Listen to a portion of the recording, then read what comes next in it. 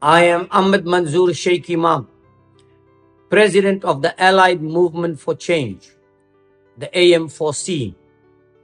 I have consistently, in the last seven out of ten years, as a member of parliament and or a parliamentary leader, have been in the forefront of fighting for the rights of the South African police services and law enforcement officers in the country.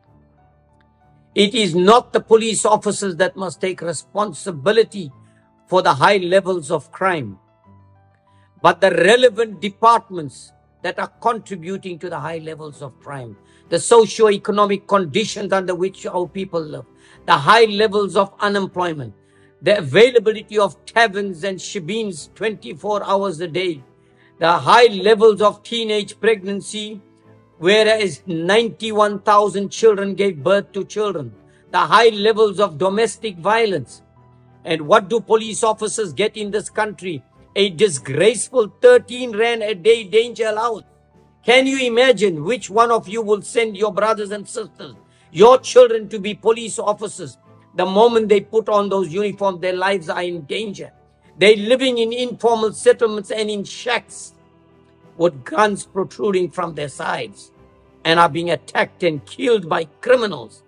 And yet there is no protection from any of government departments. I am saying, and I say it again, let's treat our police officers with respect and dignity. Let's pay, pay them with decent salaries.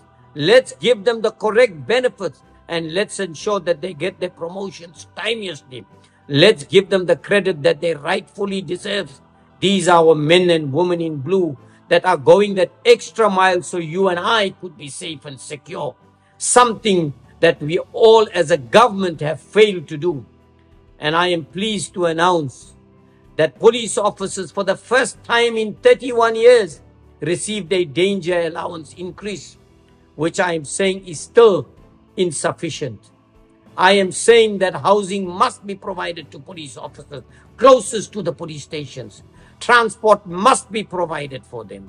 They must be treated with dignity, with respect, so that they can continue to serve us to the best of their ability.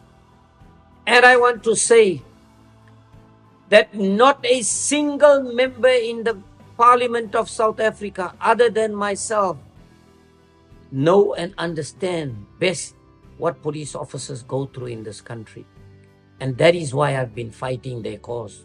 I want to say to the police officers, the fight to ensure a better life for you with better benefits will not end. I will continue that struggle until the day police officers can stand up and benefit as a result of the contributions you are making. I urge you to come out and support me in my quest to create a better life for you.